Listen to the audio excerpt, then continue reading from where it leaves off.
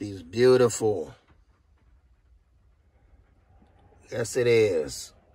Smith & Wesson M&P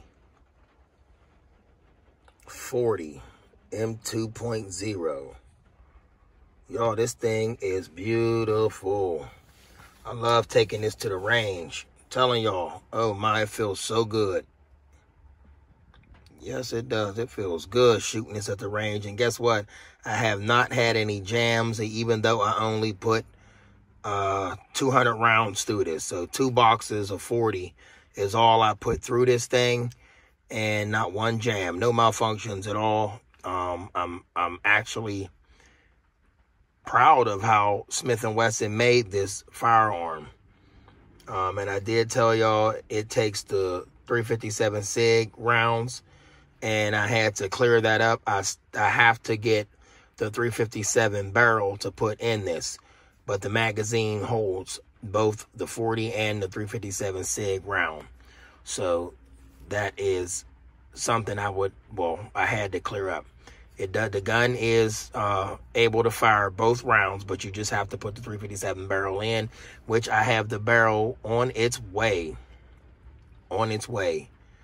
And I'm excited. So whenever I um, get that barrel, I will be doing a video on it. I'm actually going to do a video actually breaking it down and putting the barrel in there. And I'm going to be doing some cleaning of the firearm so y'all can see how to clean this. It's very similar to the Glock um, and most of your um, polymer frame pistols. So stay with me and y'all going to see more from this puppy. It's a bad boy. Um, I can conceal carry this as well. I have a concealed carries weapons permit, but I also take this to the range. To the range. Yes, I do. Beautiful, y'all. Yes, it is. This is beautiful. 200 rounds only went through this thing. And here's the holster that I got for it. All right.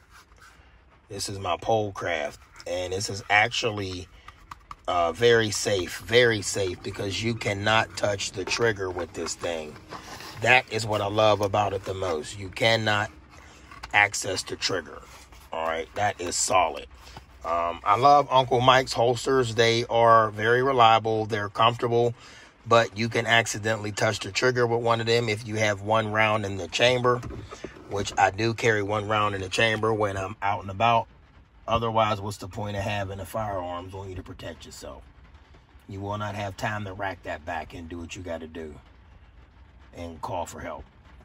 So that's a little note for y'all one in the chamber. Remember that.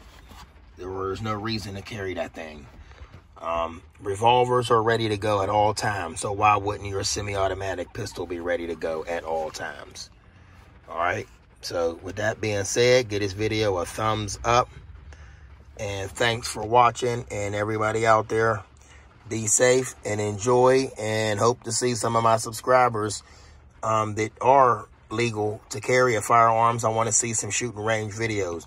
Mark Finn, once again, appreciate that video you made, you and your team. That shout out, that shooting range fun. That was awesome. That was shooting range fun at its finest.